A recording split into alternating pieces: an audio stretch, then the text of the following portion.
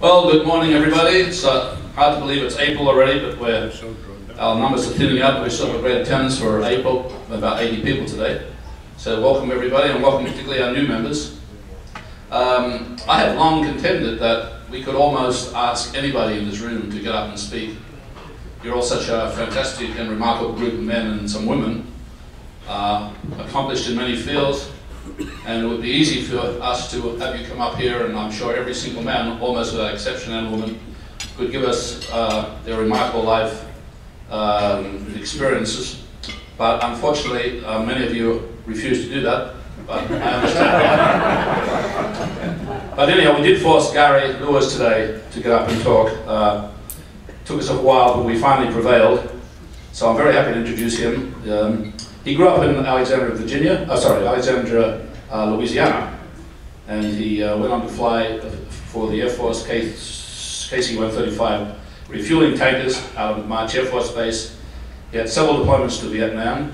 In fact, he flew 123 combat air refueling missions. He joined American Airlines in 1969 after the Air Force, and uh, also flying KC-97s with the New York National Guard. And from 69 to 2000, as I say, he was with American Airlines flying excuse me, MD-80s as a designated check airman. And he also flew the 707, 727, the 757, 767 for 31 years. So he's a, a very experienced man. Uh, he also has type ratings in, excuse me, in citations and Learjets. He worked uh, for the Palm Springs Air Commission for four years after his retirement, moving down here. And he's been a very dedicated member of Old Bold Pilots for 12 years. And he is very dedicated. You guys know him as the guy who takes $15 off you and lightens your wallet every month. So come on up, Gary. We're looking forward to hearing you talk.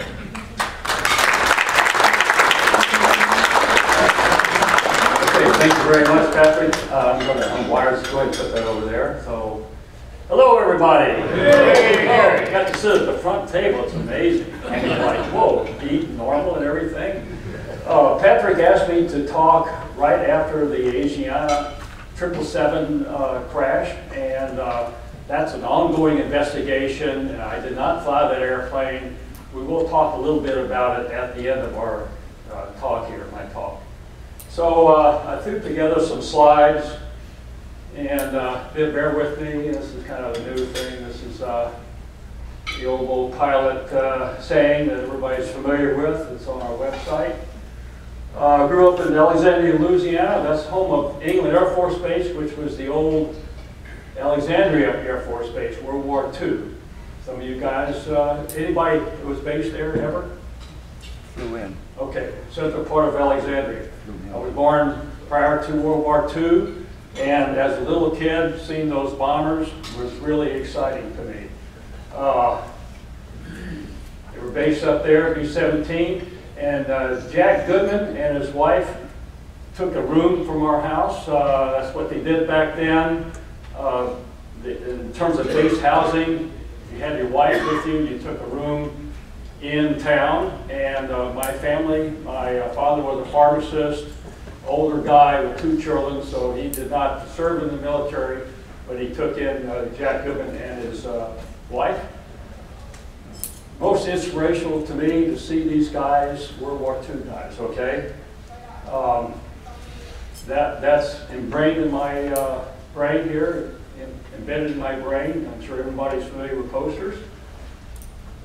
These guys here, uh, very inspirational to me to be part of this organization. Ken Marks and uh, Blaine, one of the couple of founders of our organization, and also at the Air Museum. And then let's not forget Dick Kelly, uh, Lloyd Humphreys passed away, World War II guys. So went to Louisiana Tech, ROTC. Um, I grew up in Alexandria, like I said, had a victory garden in my backyard. My, my uh, sand pile would turn into a foxhole. So I was, uh, I was there, I was ready. All I could think about was Air Force, television, flying airplanes. Went to ROTC, Louisiana Tech, that's where I met Shirley, my wife over here. And we, we uh, married several years later, but uh, Louisiana Tech was my home, so uh, I flew T-33 out of England Air Force Base during ROTC summer camp one day. So that was pretty exciting in, the uh, early 60s. Uh, grew up uh, high school during the 50s. One of my instructors was a military pilot from World War II. Uh, my physics teacher, and uh, he had he formed a uh, uh, aviation club, and we met a couple of times a month, and we took field trips. We actually never flew in an airplane. We talked about flying. When I think back about high school and all my coaches, and everything, they were probably all World War II guys. They just didn't talk about it. Not like now, everybody thought we want to hear the stories. Uh, went to Reese Air Force Base. It was one of the first, not the first, but one of the one times when all jet training was at one base, the T-37 and the T-38. This is the cockpits. Uh, you actually flew the airplane all the time, no autopilots, uh, round dials, everybody remember those? Uh, very inspirational to me, graduated there, and uh, you know, went into KC 135. I'll get more to that shortly, but everybody's been out to the Air Museum? Okay. That was a real inspiration. Everybody talked, here I am, there I was. Uh, this is one from World War II. They actually talked like that. And uh, this picture here, I don't know if you remember this cartoon. This guy, uh, and what you see here is here's an old colonel that says, uh, there I was hanging on my props. And the two young guys, which was me, Colonel, what's a prop? I've been a jet pilot all my life in, in pilot training, so yeah, what's a prop? So remember those cartoons, anybody? Okay. Uh, one of the things we had in pilot training was a history class, recips, reciprocating engines, radial engines, you know, like, what's that, you know? Well, years later, after I got out of the Air Force, I flew KC-135s from New York Air Guard, so I actually had my time flying recips. Uh, we had four turning and two burning. We actually had two jets. Let me get this pointer here. Let's see here. Right there, we actually had two, two jets on each, one jet on each wing, plus the four normal. So I got to actually fly history right there. I know most all of you probably like, well, yeah, that's not history to you, but you know, I mean, that's the way it is, history. Okay, so uh, during the Cold War, SAC uh, based at March Air Force Base, also Vietnam. Uh, flew the KC-135. Now this uh, airplane, a PWJ-57, uh, was called the water wagon. We had water augmentation to take off. Uh, 322,500 pounds, pretty heavy airplane to take off. But uh, the J, we had water augmentation. And I don't know if you know what that means, but we actually had a water tanks that we ingested the engines for takeoff to make the, in, the air denser for taking off during the thrust period. Uh, what was weird was uh, it was first it was asymmetrical, meaning the left side got water from one tank and then the right side got the water from another tank. So if you lost water on one side, you had a real serious yaw problem. They later retrofitted to where one and four and two and three, uh, so that if you lost water, it would be symmetrical. Some shots, uh, I mentioned, uh, spent a lot of time uh, uh, behind one of those. These are B-52s, so we did support missions for B-52s. We were, during the Cold War, we would sit alert for a week, uh, and uh, we had a, a war mission where you know, and the B-52s were out there on the pad. They were on alert, sitting there with nukes, ready to go. And, uh, you know, it's one of those things, we were just spring-loaded. We were also doing rotations to Vietnam when that started up in the early 60s. So there I am as a co-pilot in the uh, KC-135. And in Vietnam, I flew 123 combat air, air refueling missions. The Arc Light missions were B-52s. We would take off from Guam. I'm sorry, the B-52s would be at Guam. We would be in Okinawa, Kadena, and uh, we would rendezvous uh, just west of the Philippines. refuel the fighters on their mission going over to drop their bombs in Vietnam. And then be another wave of tankers to meet them on the way back. And then they would go back to Guam. So it was a long trip for them. Thing would probably say something like 11, 12 hours, right? 14. 14? 14 hours, think of that. So, uh, Arc-light missions, uh, were very long for the, uh, KC-135, that'd say four and a half, five hours, something like that. Then the Young Tiger missions, uh, I got some slides about that in just a minute here. Then I served one year with SAC on stand board, that's standardization, evaluation, crew, uh, one year. I was a left seat qualified, but uh, I was in a right seat crew. They wanted a young guy to uh, do the simulators, and that way the co-pilots could identify with somebody like me, I guess you'd say. So, uh, one thing with the Air Force, it didn't affect your pay as to uh, what position you flew in, so I was okay with that. But I was a check airman, basically a standboard crew there. Let's see here. Okay, what's that?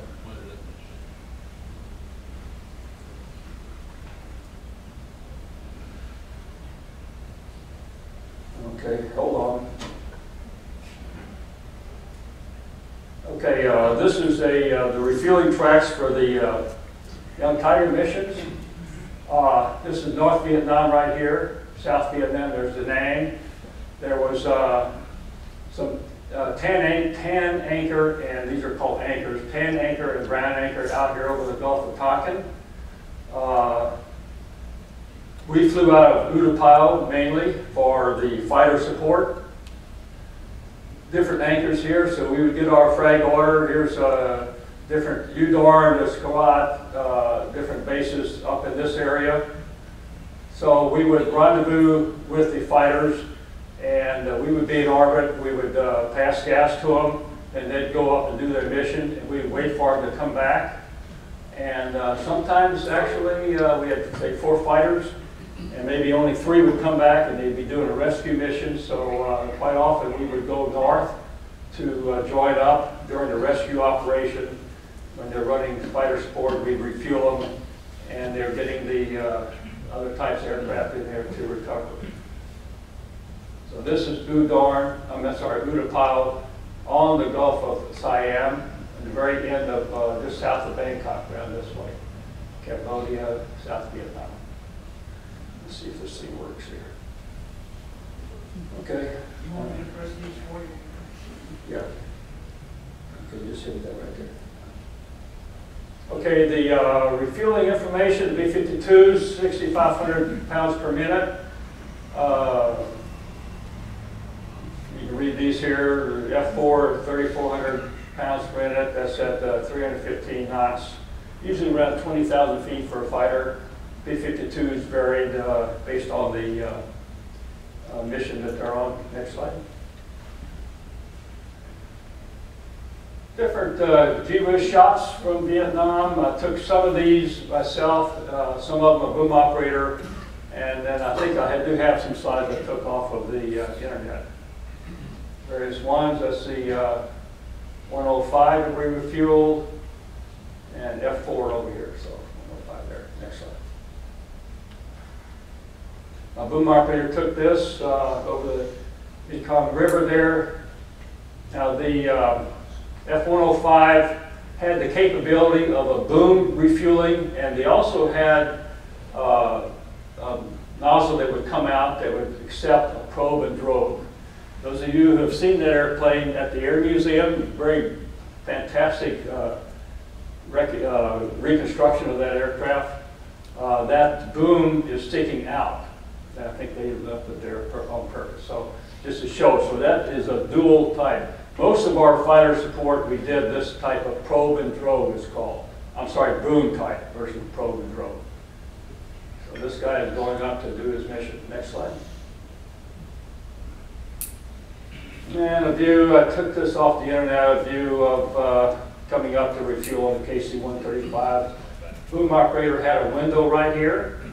He would uh, lay down, had the control underneath him here, and uh, the nozzle that he could extend the boom out, and he would lay down to fly the boom into the position that the fighter pulled into support, okay?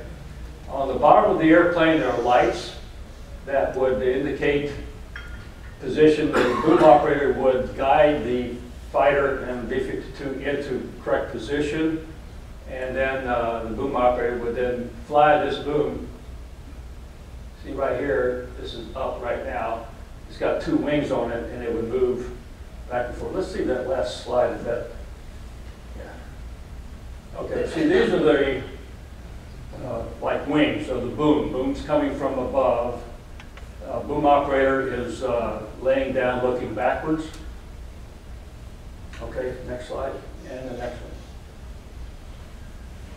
Pretty exciting uh, photo. I think I got this off the internet. I don't know, I wasn't, know, nobody was there that I knew of, so very exciting photo. Okay, the F-104 had a mission in, uh, when I was there off the Gulf of Tonkin, they would run uh, uh, kind of fighter uh, escort. They would, they covered the whole Gulf of Tonkin. When Bob was, Bob, where are you? Bob Lally, okay. He was there earlier, had a different mission, and this one was uh, off in the Gulf of Tonkin, and the fighters, we had a mission, uh, KC-135 had a mission to support them. They were flying a- just a racetrack type of pattern, and Bob told me earlier this morning that that would be very boring for those guys, because all they do was just flying around. We had the whole area covered by radar, so we knew if a fighter would pop up, and then maybe they would go ahead and, uh, you know, take care of the business. But uh, basically, it's the 105. Now, this is a probe and drogue. You see this? This here. Oh, boy, okay. Oh, everything is gone here. Did I turn this thing off? Okay.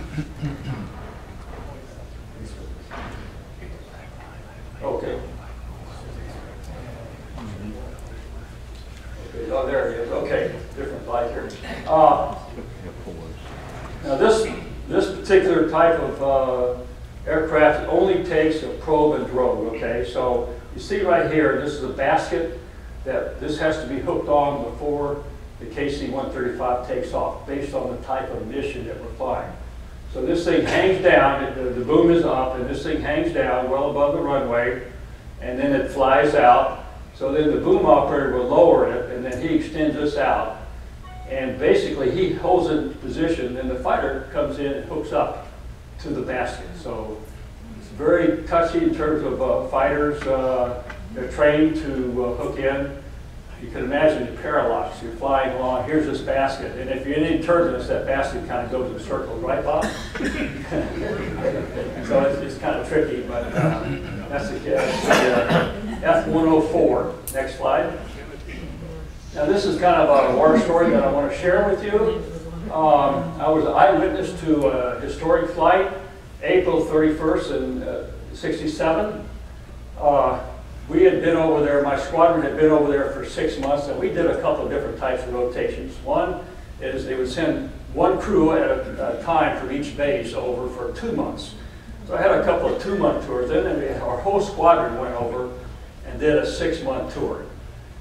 Um, this particular day, I was uh, in down there at the Utapao in Bank in south of Bangkok, and we would uh, deadhead up to Kadena in Okinawa, and uh, we were actually in a crew uh, deadheading with another crew deadheading, and the crew that was flying the airplane was their mission was one last shot. They were going back to the states.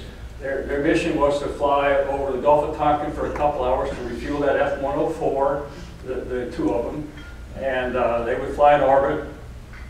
And uh, basically just a couple hours and then go on to Kadena, and then they would go to Guam and then back into uh, Hickam, and then back to the States to their base. So that was their mission. We were just sitting back there, you know. All of a sudden, we got the word, hey, something's going on. Next slide. Okay, triple refueling. Anybody ever heard of this one? Okay, here's how it happened. They're up there flying F-104, got a call on guard, That's Navy common for everybody in the Navy? Okay? Uh, On guard, that they were doing a rescue mission. The Navy tankers, the A3D, didn't have time to go back to their ship, their carrier, to refuel and then uh, go back and help in the rescue. So they needed a tanker big time. Now, let me say this about uh, back in the day, okay? Air Force and Navy didn't cooperate, you know, like they do today. Uh, we, Air Force never refueled Navy, that was like a no-no. Occasionally, when I was at the Barts, we would do some training missions. We'd be up, uh, say, over the Mojave, refueling some Air Force fighters for practice. Every once in a while, a Navy guy would say, hey, can you slip me a little? Okay, so, yeah, okay, you know, we would log it and everything. So that did happen, but, you know, it's not recorded anywhere, and oh, I'm recording this, so you didn't hear this. Anyway, um, so here we are. They got a call on guard, they needed a tanker right now.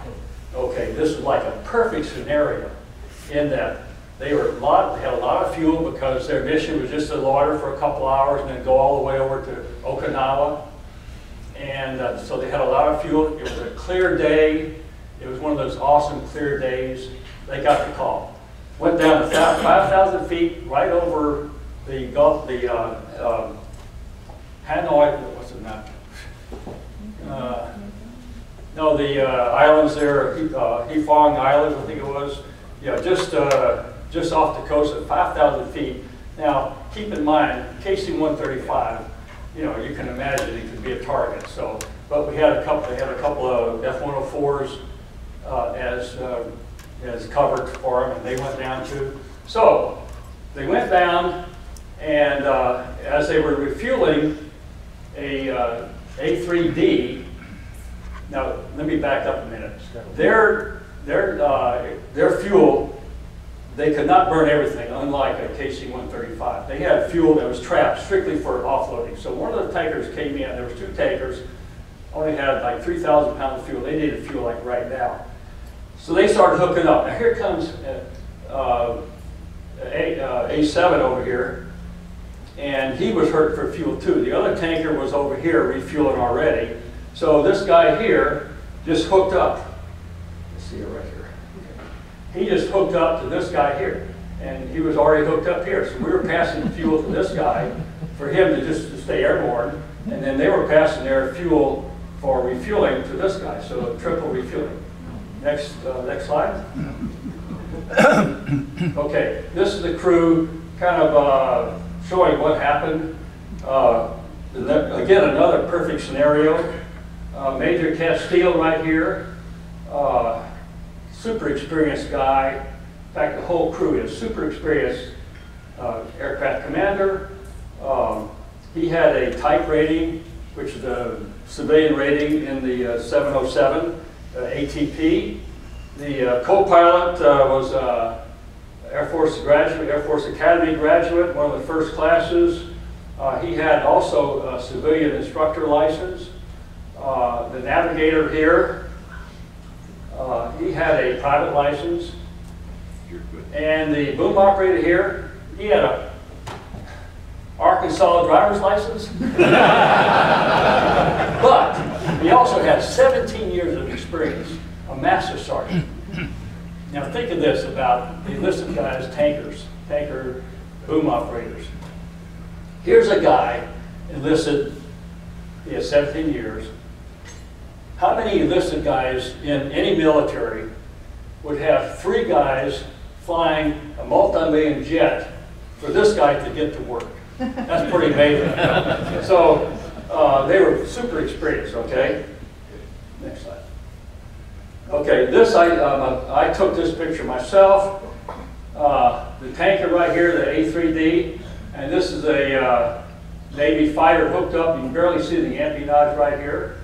So, you know, we were dead heads, so we were all over the airplane. I was back there in the boom compartment. We were on the side, so pretty amazing feat when you think about it.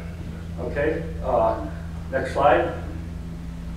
So this is some of the ships that uh, they uh, were from, the carriers.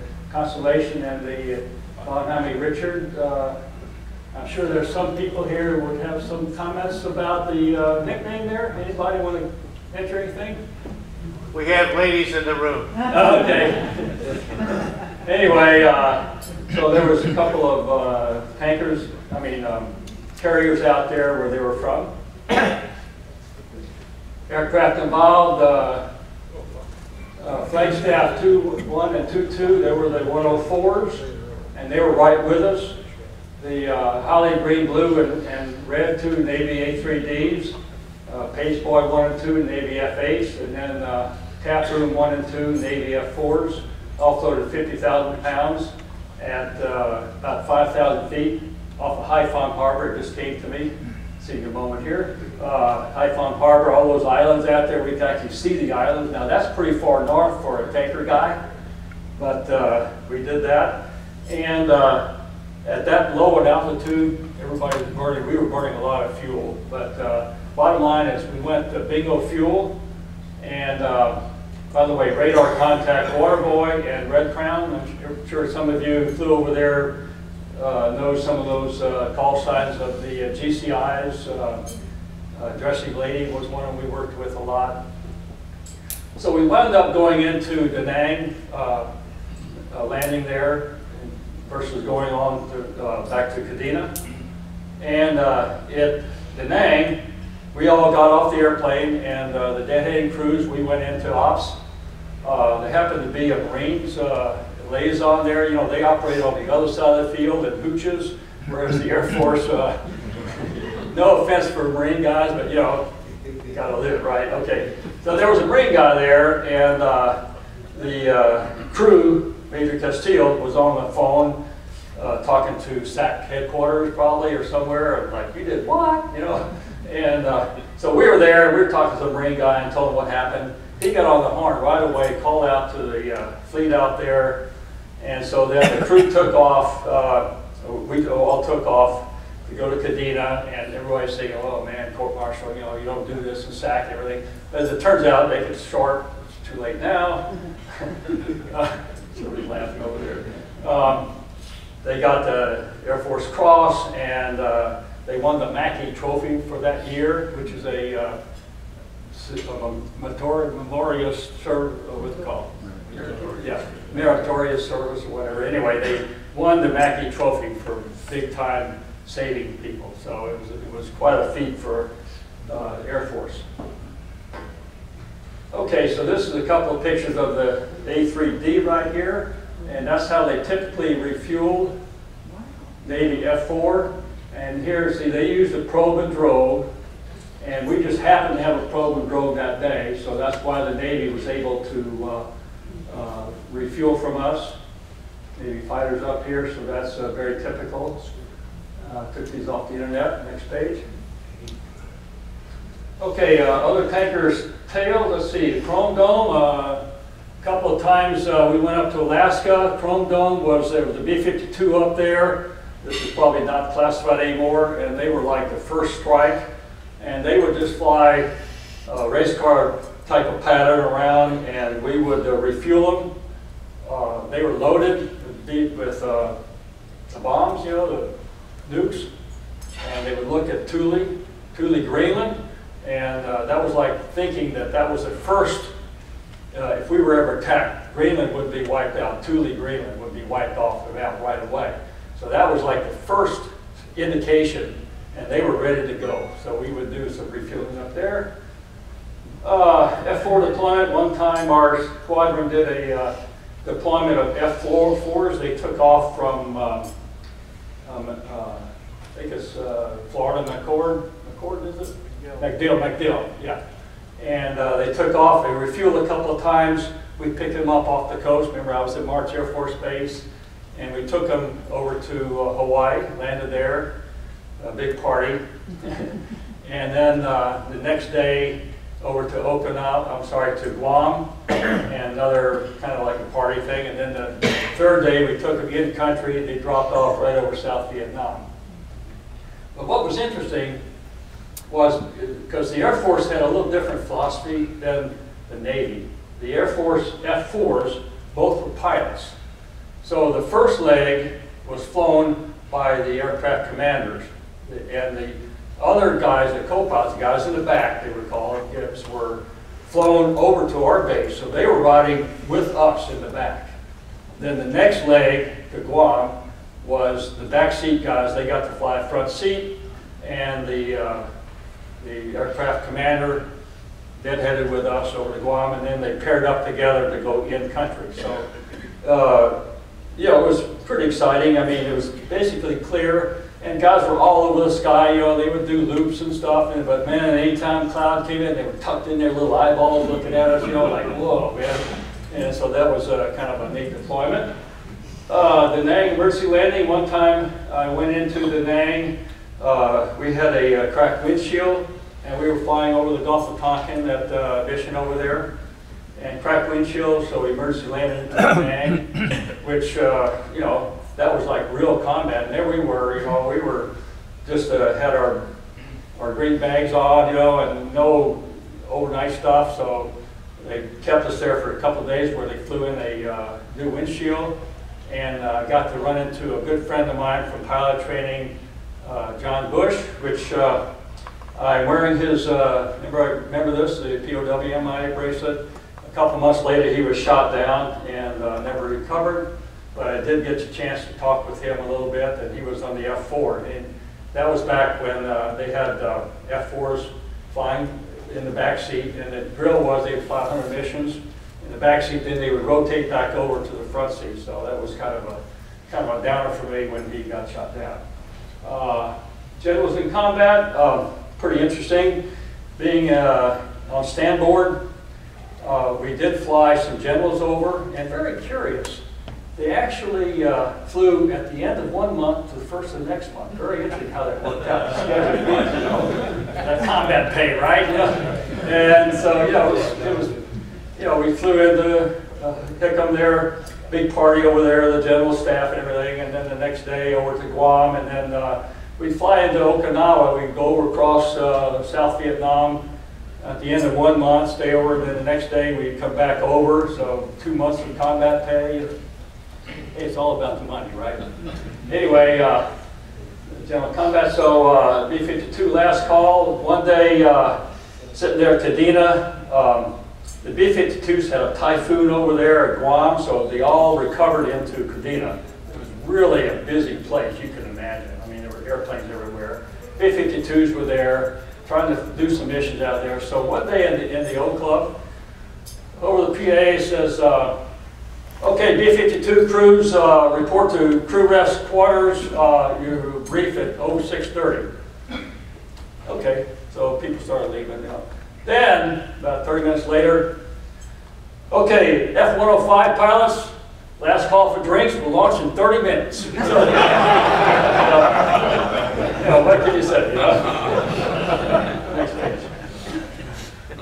Okay, uh, American Airlines, 1969, retired in the year 2000.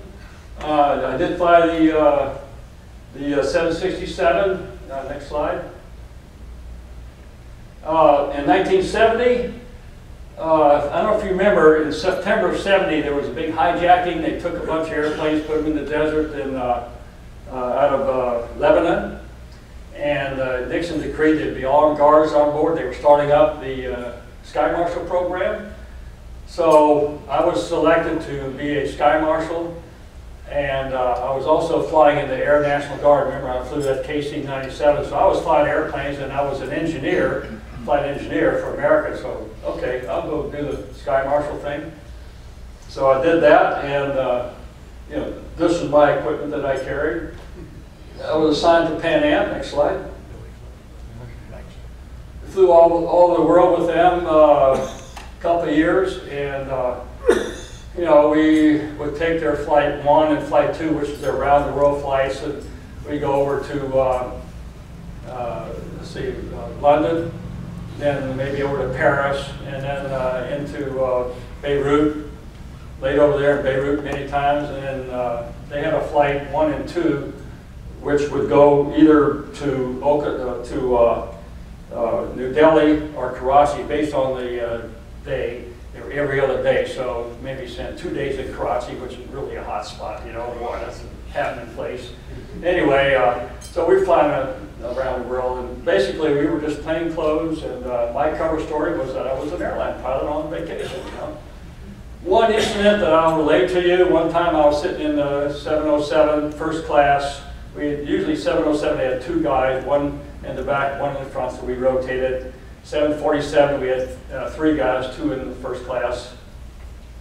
So uh, I don't remember what the incident was, but there was a passenger that kind of got a little ticked off at the flight attendant and was up in her face, you know, so I acted like any other gentleman. Hey, buddy, sit down, you know. I mean, I didn't pull out my gun or anything, you know, I just said, okay. And, and what happened was a couple other businessmen uh, jumped up and they said, yeah, you know, mind your own business. So she, he sat down and left her alone. So that was one of those kind of a, the little stories. I didn't really have to do anything really heroic at all, thank goodness, you know, we're using the heavy equipment.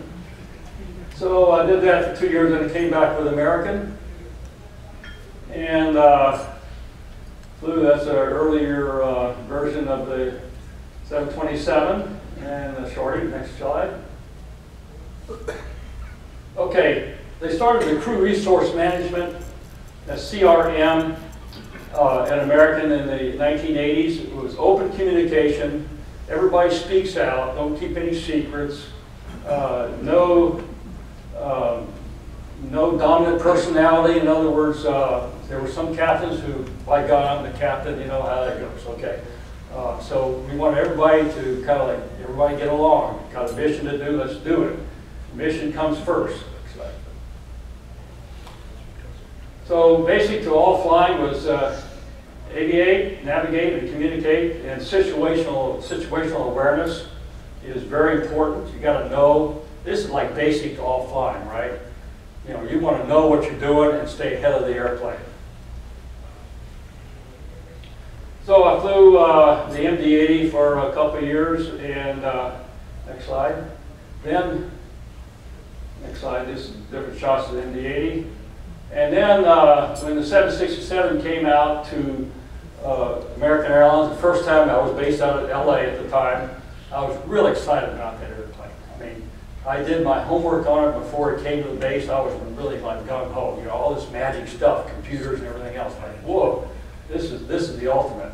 And notice down here, it's not a misspell. That's boring, not Boeing. okay, so I flew uh, domestic for a while, and then uh, I was uh, I was also checked out in the left seat. Flew international out of Chicago to Europe, go to Paris. Now that sounds really cool. I think going to Paris layover. Oh man, 24 hours, time zone issues, all that stuff.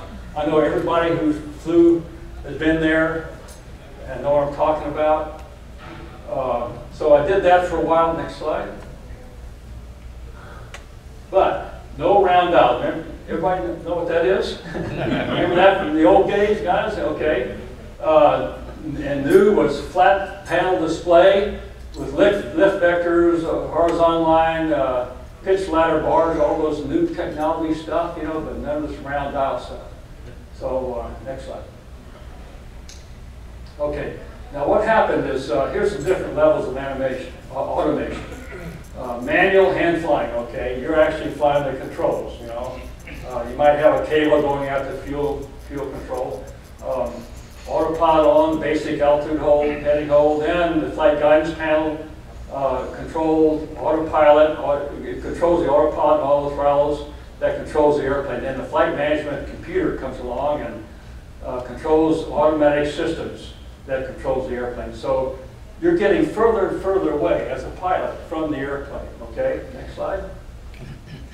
So there's a real paradox here. The purpose is to reduce workload, okay? Uh, how many times has guys said to, to themselves, or, you know, me as a check airman, now the MD-80 was basic, but it did have a flight guidance system that uh, evolved. And so how many times have I heard this? What's it doing now? Okay? You become task, task saturated. I mean, I have told new, new pilots and co-pilots or captains, if you get behind the airplane, it's just an airplane. You got a white button and a yellow button. One's an autopilot, one's auto throttle. Just kick it off, just hand fly. There's the airplane, there's the airport over there, just go over there and land. And they would say, can I do that? You know, no. I mean, you know, because in the simulator, they're so schooled to uh, get the computer working. And to be the pilot, not a manager. Okay, next slide. So I was a check airman from 1988 to 2000. So uh, let me say this about airline flying. You know, bottom line is uh, all about money. Airline people, okay. You go to the bigger airplane, longer trips over water pays more. Me as a check airman, as if I was flying all that, but I was flying an MD-80 check airman. I was hand flying it more, three, two, three, four legs a day. Yeah, I had a new guy in the right seat or a left seat, but I was actually flying airplanes, and that's what I wanted to do, you know. Uh, talking to my contemporaries at the time, one of their attitudes is, uh, you're exposing yourself too much. I don't mean exposing, but I mean, you know, you're putting yourself out there in harm's way. I mean, you know, landings and, and with a new guy and all that stuff. But me as a pilot, I didn't have a problem with that. That's what I signed on for, you know. And I got a personal reward out of helping new guys, especially new co-pilots, watching them blossom out. I know probably several of you are instructors or have been instructors, so you know I'm talking about, right? It's a, it's a personal feeling. And bottom line, it didn't affect my pay, so I thought it was a good deal. I was offered a chance to go to uh, a bigger airplane, but I like the takeoff landing. I like the domestic operation. We did fly down to Mexico. And uh, uh, flying domestically, the time zone change wasn't critical. And I wasn't trying to impress anybody with, oh, I'm going to Paris, you know, so this is my personal feeling. Next slide. So uh, had more takeoff and landing. Next slide. Line check airman stories. Uh, what's it doing now? We already talked about that. I've already talked about, you know what I mean? Uh, it's one of those things that uh, if you get behind the airplane, uh, just hand fly. What's it doing now? Go. Be the pilot. Kick it off. Be the pilot. Don't try to impress me. I've had some students, you know, I'm a check airman. They were trying to show me what they do. Could be be behind the airplane, and that's one of those things that, you know, I'm just another pilot here. I want you to just perform, even though, you know, I'm checking them out and everything else. And typically on the MD-80 at American, we would fly a minimum of 25 hours on the line. And by the way, for those who are not familiar with airline flying, the first time a new guy flies the airplane for real is with a check airman. Simulator is so good, they get the type rating everything in the simulator. So now they're out on the line with real people, oh my gosh. And some of them were kind of like, oh man, you know, but uh, uh, part of my job as check airman is to calm them down, uh, let them have a, quite a bit of leeway. So we talked about CRM, and a couple times, uh, uh, like I got the airplane, that one there, yeah, a couple of times I did have to take the airplane because I let them go so far. I had a little more tolerance in terms of my uh, uh, slack to let them figure out what's going on, you know. So if they got a little behind the airplane, then I would maybe take it over, get it straight, and then let them take try it again. Uh, sometimes I did have to send some people back to more training, and a few times uh, a couple of guys uh, just would not sign off. And pretty much it was up to the chief pilot, which is over there in the Flight Academy in there in the DFW. Next slide.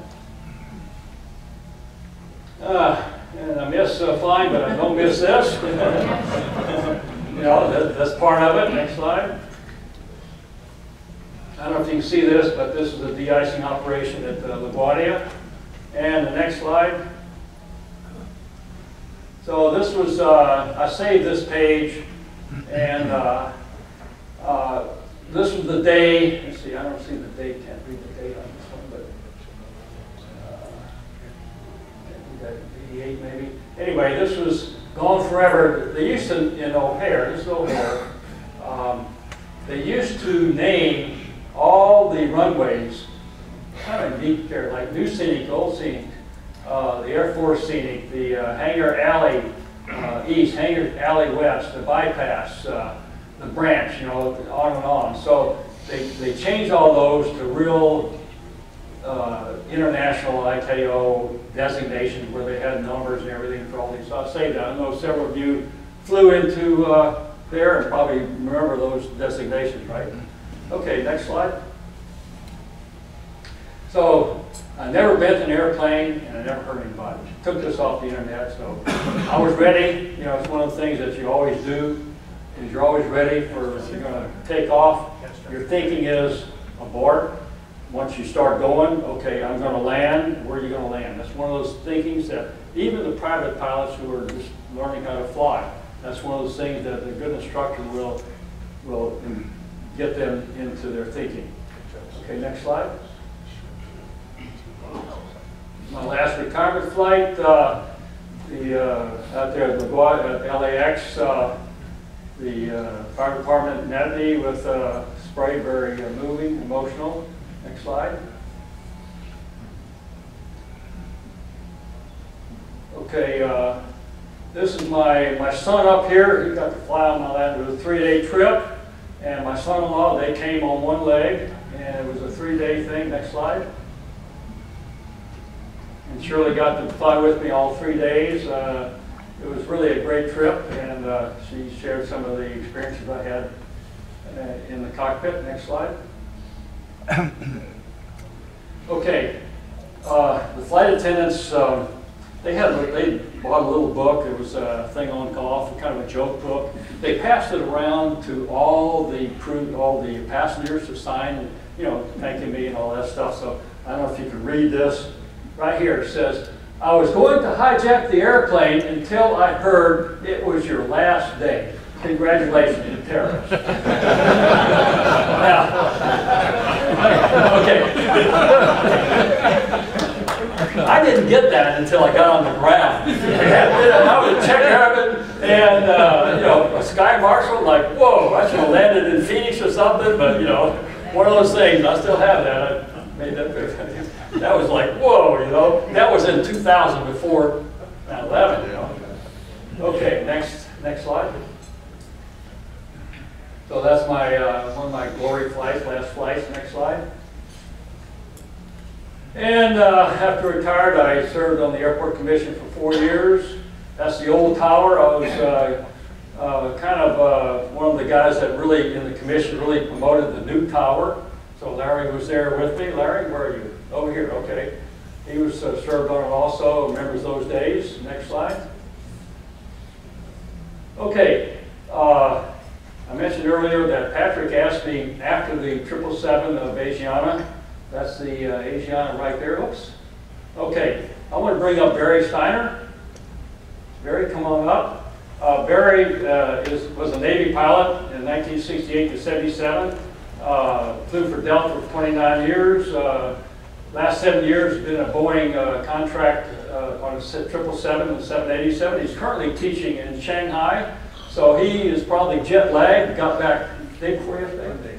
Monday. So why don't you, uh, uh, I did not fly the 777, so he is very familiar with it. And because it is an ongoing uh, investigation, he's going to talk mainly about the difference in the, uh, the uh, auto. So turn it over to Barry for a moment.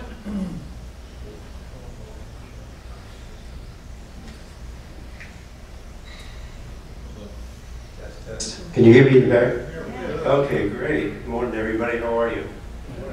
Another beautiful day in the desert, isn't it? I was in Shanghai for the last six weeks, and I was really missing the desert weather. I gotta tell you that. I was eating my heart out. It was, uh, uh, I don't know if uh, you folks have been to uh, China lately, but the air quality in Shanghai leaves a little bit to be desired. Even on a sunny day, it's a gray day in Shanghai, so I'm really glad to be back home in the desert. I miss it a lot. Uh, First of all, uh, Gary asked me to talk a little, about, little bit about the 777 and uh, with a view to what happened uh, here uh, last July in San Francisco. Well, just as a general disclaimer, in case there's anybody from the media in the room, uh, I am I am by no means a spokesman for the Boeing company here today. I am a uh, flight instructor uh, and I work as a contractor for, for Boeing Uh, So there's a lot of plausible deniability that uh, Boeing can use to say that I do not work for them, so that I do not represent them, but I, I can talk to you a little bit about the 777 uh, and the training program that we deliver to the Boeing customers. Some, has, has every- everybody in the room, any, uh, everybody in the room flown on the 777 before? Wait a just uh, for, for my benefit, it'll show of hands of how many people have actually flown on a 777. It's a great airplane. It's a great airplane to, to travel in and as a passenger, and it's a fantastic airplane to fly as a pilot. Uh, it's a real solid machine, and I really enjoy working with it. Uh, just a couple of fun facts about the airplane uh, to kind of give you an idea of what we're dealing with here. I like to call it the heavy twin. I know we have a lot of light twin drivers in the room. This is the heavy twin. Uh, just a, as an example, the, uh, the aircraft is 209 feet long. It's a little bit smaller than a 747 and uh, quite a bit larger than a 767. It fits right in the marketplace, right between those two airplanes. Uh, it's got a 200 foot wingspan. It'd Be kind of hard to fit one of them in a football field.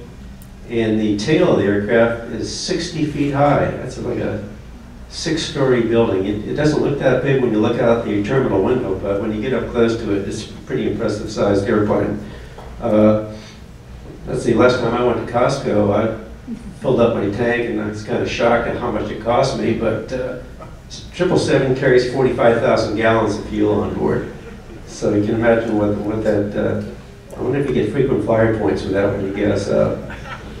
Uh, Gary mentioned about the size of the KC uh, uh, 135. The uh, 777 uh, 200 uh, ER model that AGM operates carries uh, 300,000 pounds of fuel, which is pretty impressive. 300,000 pounds of gas, and it grosses out for takeoff at 650,000 pounds. It's a solid airplane, and it's pretty cool. The engines, uh, they, they come in different variants. Uh, different customers get different engines depending on what kind of deal they can work out with the engine manufacturers. So when we teach 777, we can teach either uh, GE engines uh, or Pratt Whitney engines or Rolls-Royce engines. And just as a little uh, factoid, uh, the engine thrust put out by these uh, various different engines ranges from 75,000 pounds to 115,000 pounds per engine of thrust. Pretty powerful motors. In fact, uh, next time you go to the airport, you look at one of these 777s, if you go through LAX or someplace where they- fly, uh, the engine size has the same caliber of the fuselage of a 737. So next time you sit in a 737, look around, that's what it's like being inside the engine of a, engine of a 777 airplane.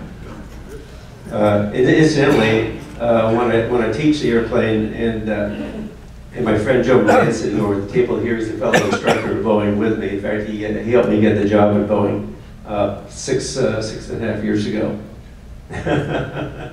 Anyway, uh, when we teach uh, the procedures for the airplane, uh, we have a flight control check, and the pilots, they want to, they grab the wheel, they turn it back and forth and push the yoke forward and aft. And, and I have to tell them, you know, when you push that yoke forward and aft, that horizontal stabilizer in the aft end of the airplane is the size of the wing on a 737. So be nice and gentle when you move that around, otherwise, actually, the airplane will go up and down on the ground while you're testing the, the flight controls. It's kind of interesting. Now, uh, one of the things that I can uh, that I can address is the, the training program that Boeing delivers to the customers, and I and I got my training manuals out and added up some numbers just to give an example of, of what happens when a pilot goes through transition training on the uh, Boeing 777. Uh, First of all, we put him in a, uh classroom in front of a computer, and he sits in front of that computer for 40 hours to learn the systems, uh, all the systems in the airplane, all the academics that are involved that are required by the, the FAA. Uh, so we call it uh, CBTs, uh, computer-based training, uh, and you need to have a large cup of coffee when you sit down to perform that computer-based training, believe me. Uh, after they uh, complete, well, actually, they, they complete the computer-based training while they go through the flight training device. A flight training device is a simulated cockpit that's just stationary on the ground. It doesn't move, and it's, uh, in some cases, it's computer simulation of, of a flight deck. We have uh, it built up like a cockpit. We'll have an overhead screen, that, uh, computer screens that look like the cockpit, and they're all touch, uh, touch operated. Uh, and then uh, now uh, the newer flight training devices actually have control wheels and rudders and a operating of uh, um, mode uh, control panel that controls all the auto flight that we have in the aircraft that Gary alluded to. Uh, we do uh, nine sessions, nine two-hour sessions in the uh, in the flight training devices. That's uh, preceded by about a one and a half hour, an hour to an hour and a half brief. We go into the trainer for two hours and practice uh, normal and non-normal procedures, and uh, and then we have about a half hour debrief afterwards to talk about what we did. Once they get, the trainees get through the uh, flight training device, and they will have finished their 40 hours of uh, computer-based training in addition to that, and then they graduate to the full flight simulator. Uh, now, these full flight simulators are on hydraulic or electric uh, jacks, and it's a full-size cockpit.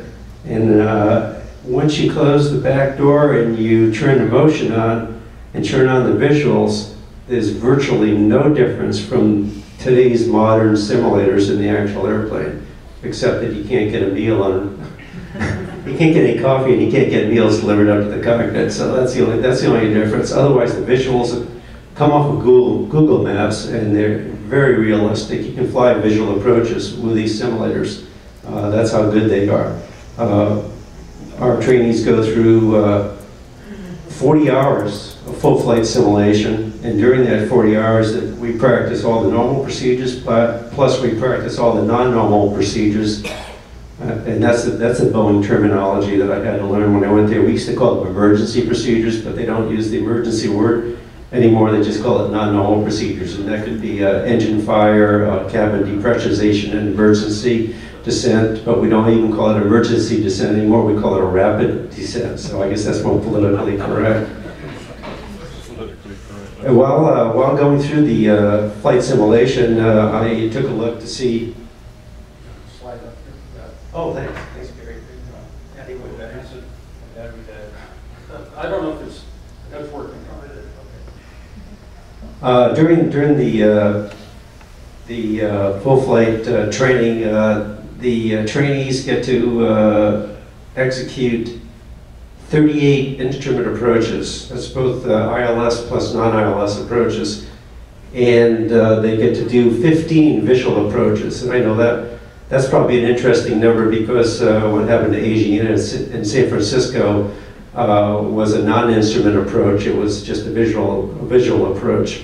So in, in the full transition program, they get to, uh, to fly 15 visual approaches in the simulator.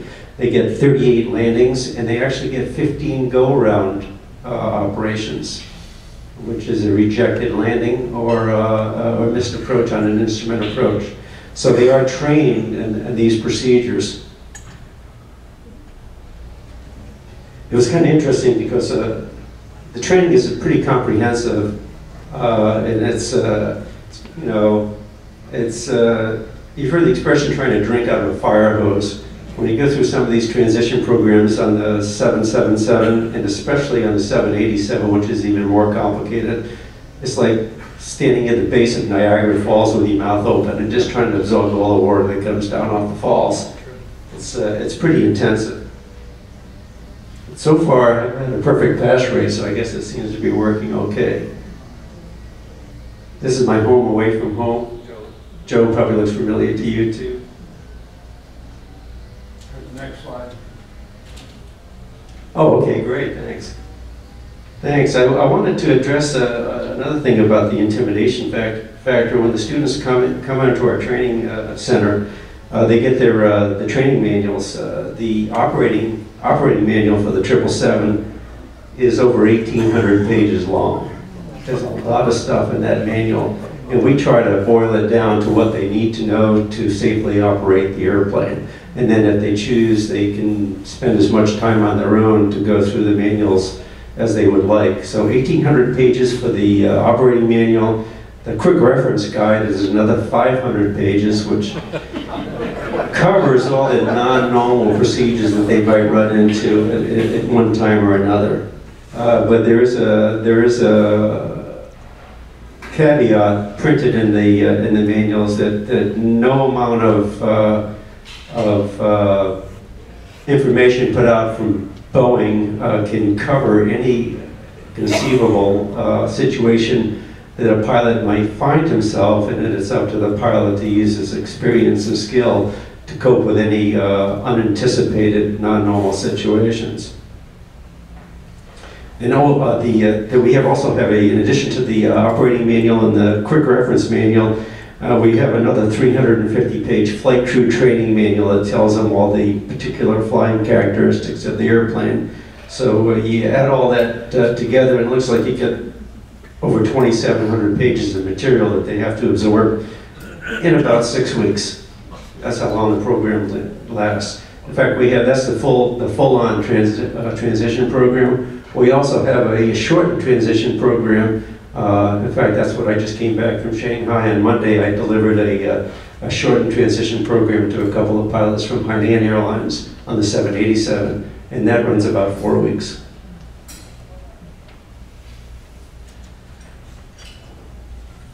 Gary wanted me to address uh, along the lines of, uh, he was talking about on the uh, cockpit automation, uh, specifically about the auto throttle system.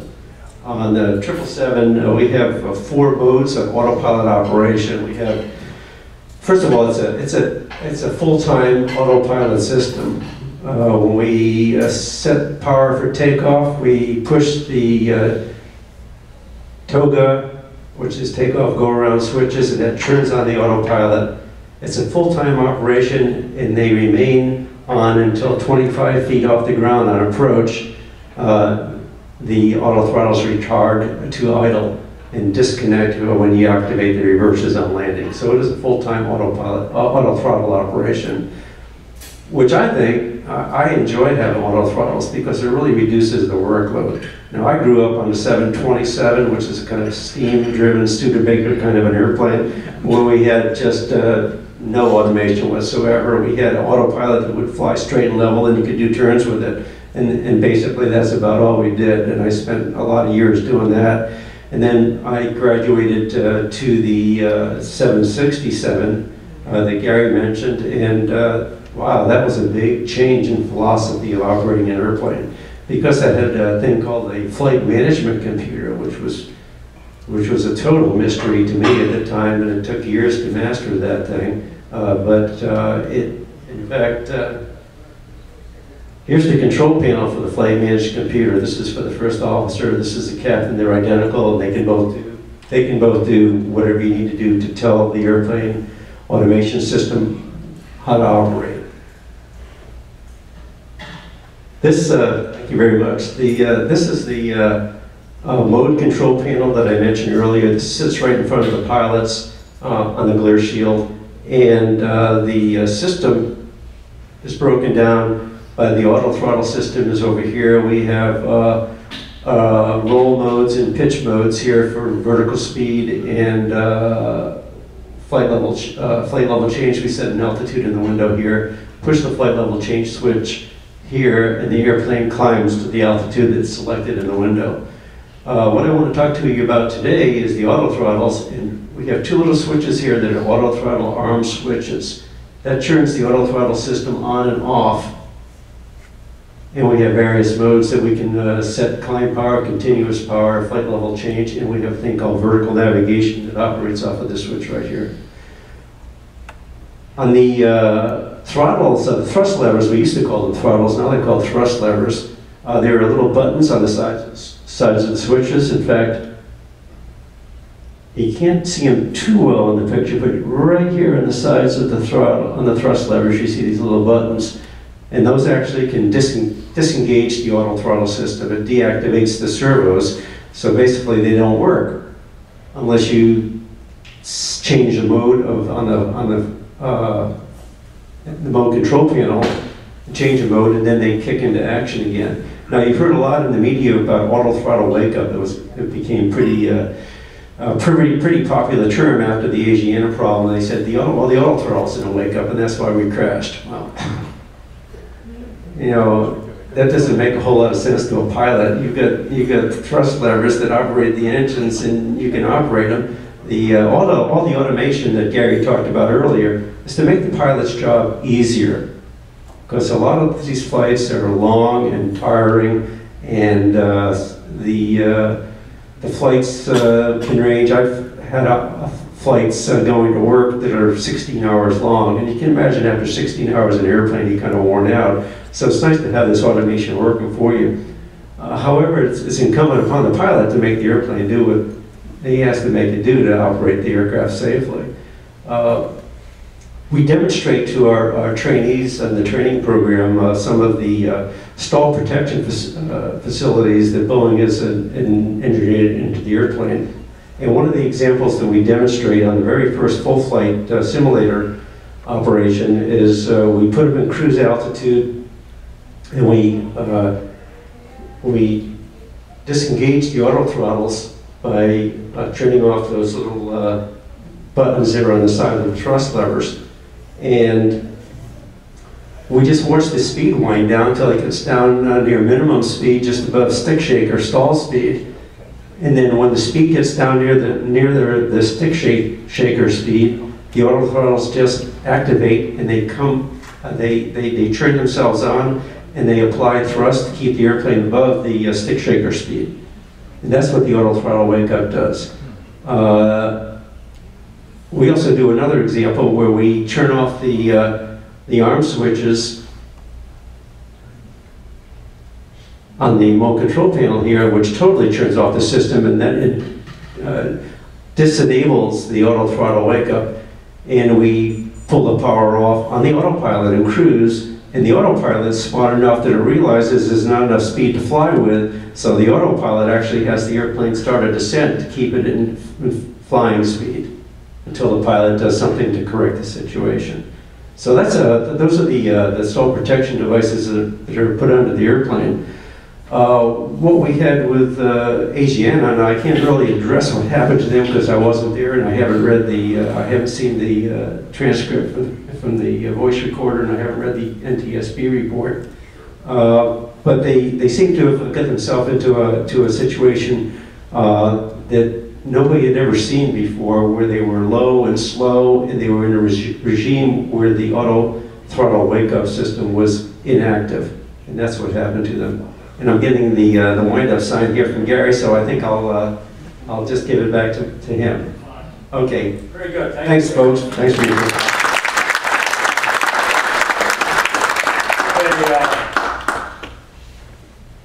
Everybody's probably heard this before, but uh, the pilot, the, the crew of the future is a pilot and a, and a dog. The pilot is there to feed and nurture the dog. The dog is there to keep the pilot from touching anything. But my two grandsons, 13 years old, these are the pilots of the future. So thank you very much for.